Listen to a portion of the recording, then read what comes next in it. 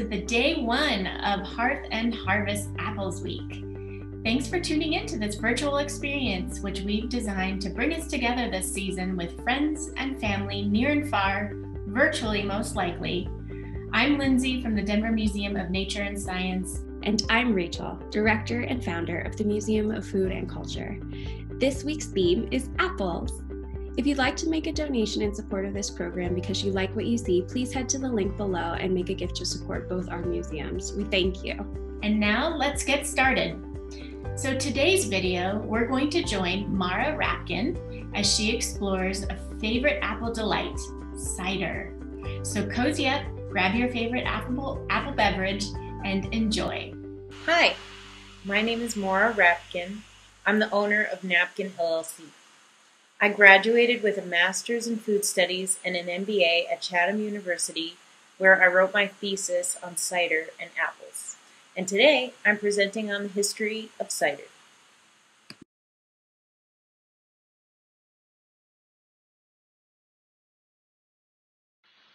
This presentation is a brief dive into the history of cider and spans millennia and the expanse of the Northern Hemisphere. Cider's story is inextricably linked to the agricultural production and migration of apples.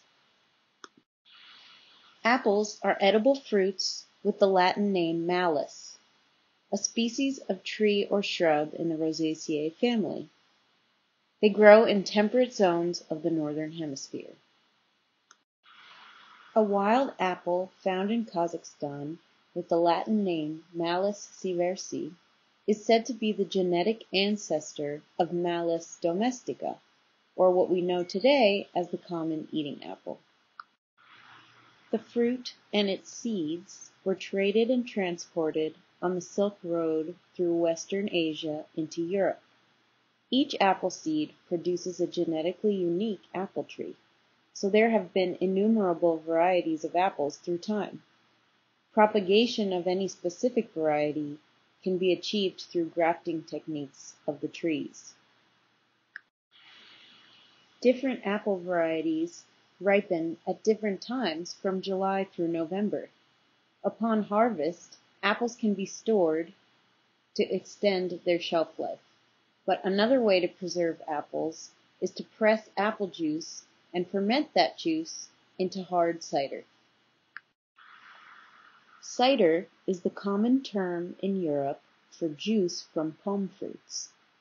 Juice today in America is usually some version of cider that has been pasteurized and heat treated. Apples are washed and pressed, and the juice is then stored with minimal exposure to oxygen. Cider can be sweet or hard. Sweet cider is unfermented, fresh juice. Hard cider is the product of alcoholic fermentation. In alcoholic fermentation, yeast, either added or wild from the air, consumes sugars in the cider to create alcohol and carbon dioxide. Cider will ferment in as little as a few weeks.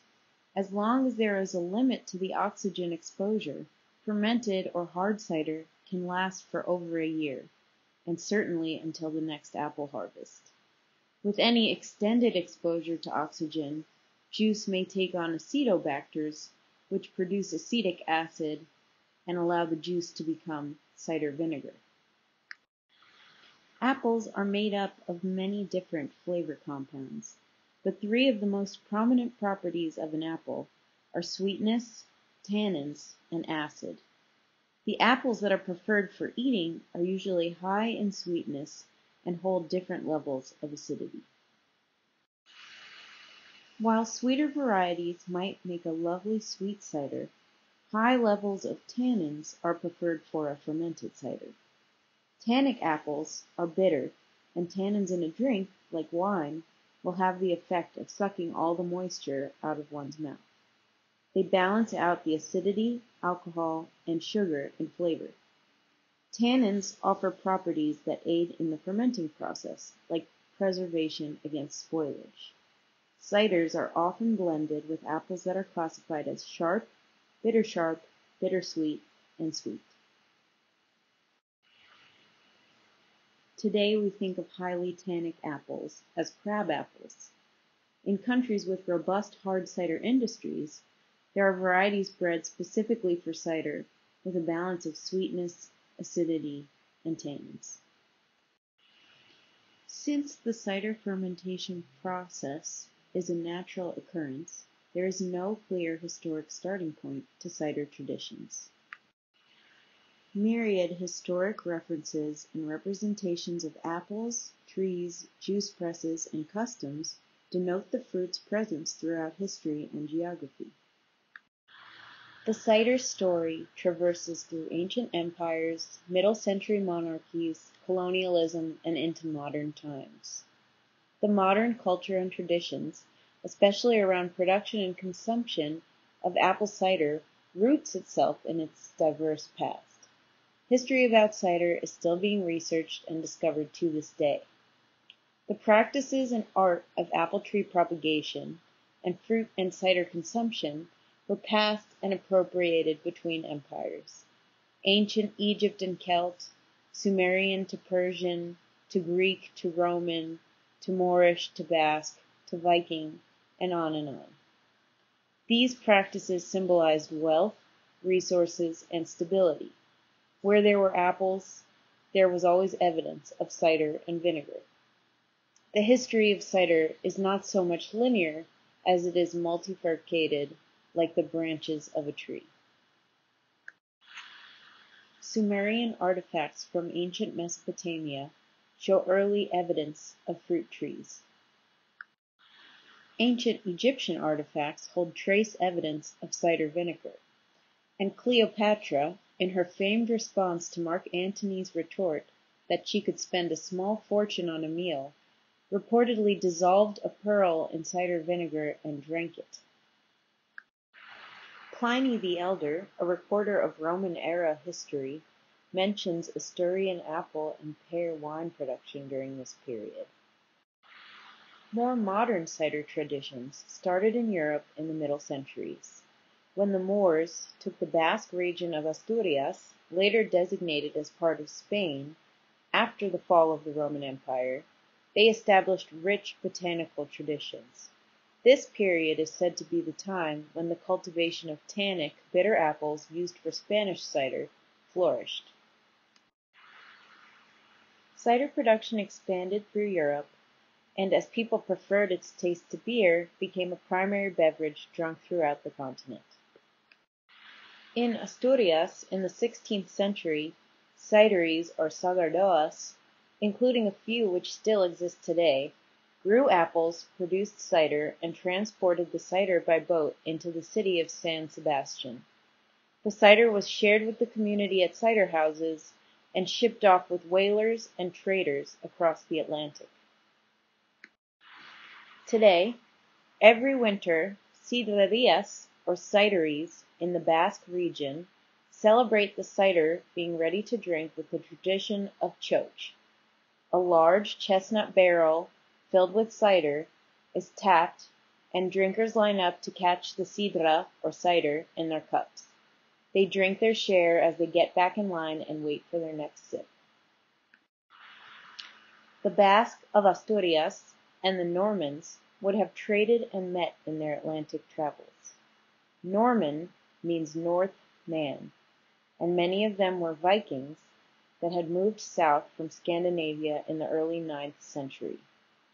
Vikings were keen cider drinkers, and this explains why in France, a land dominated by wine, there is also a proud tradition of cider in Normandy which exists to this day.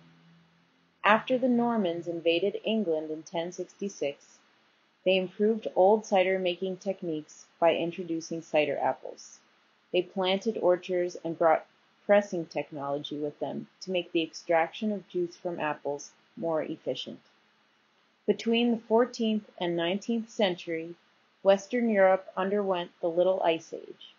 Apples can survive cooler temperatures, whereas grapes need a warmer climate, and so began a golden age for cider at the expense of wine. Along with the weather, political factors had a major impact. war with France and Spain interrupted wine, brandy, and sherry imports into England. To create new domestic beverages, some aristocrats with orchards and estates started experimenting with cider, cross pollination of apple cultivars, glassware, and corks. There's evidence in the archive of the Royal Society in London that 17th century cider makers were producing sparkling cider using a secondary fermentation in reinforced glass bottles sealed with corks. In post-Norman England, the tradition of wassailing arose in the winters, where drinkers would visit orchards with their cider, pour some out, and sing to the trees in hopes of a good harvest for the coming year. Upon colonization of the Americas, Europeans brought apples and cider traditions to the new land. Orchards were planted as means of settling, and community presses became commonplace. Famed Johnny Appleseed traveled westward and planted trees as a means of establishing new roots, both literally and figuratively, and building new settlements. Cider was drunk by Americans of all ages since it was often safer than water, and natural fermentation of cider often produced a low alcohol content of only 4 to 5 per cent. But during Prohibition, to curb alcohol consumption, these early orchards were cut down or burned. Beer, made from grains, which could be harvested every year, took over cider's market when Prohibition ended. Today, Britons are the biggest consumers of cider per capita, and 56% of apples grown in the UK go to make cider. France, Germany, and Spain have rich traditions of cider and bring up Europe's share of the market. In the US today, sweet cider is common and hard cider is the fastest growing on the alcoholic beverage production market. There are hundreds of craft producers across the country, though they must now compete with large manufacturers like Boston Beer Company and Stella Artois. Apples are grown as a commodity on the global market and are increasingly produced for sweetness, prolonged shelf life, efficiency of production, and appearance. There are a number of smaller industries around the world dedicated to the craft of cider and growing cider apples. Often these makers distinguish themselves using the specified apple characteristics and historic traditions of production. It will be interesting to see if the apple and cider industries reflect the diversity and expansion of their rich history or whether they will see the effects of consolidation and replication of the modern world.